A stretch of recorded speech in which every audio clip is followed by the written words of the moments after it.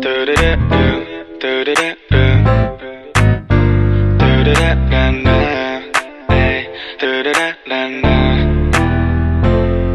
俺の人生の分岐点は一年前。美女との出会いで暗闇は発見突然光差し込んだ My way あの日俺を呼び出したあいつのおかげ。感謝してもしきれないくらい膨大に膨らんだ感情を伝えたい。けどいきなりだと照れくさく言えない。から月の誕生日に伝えよう。偶然なんかじゃない。きっと運命か何かが繋げた出会い。そんな運命が本当にこの世にあるならこの先の未来も願いしようかな。ららその日あったこと話しながら片手にお酒でも持って飲んでその後ほろ酔いで寄り添ってスリーピン。君と朝を迎える。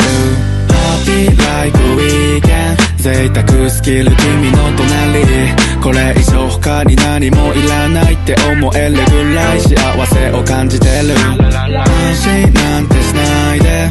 いつかは空から迎えが来るからそれが今日。明日かもしれないだろう。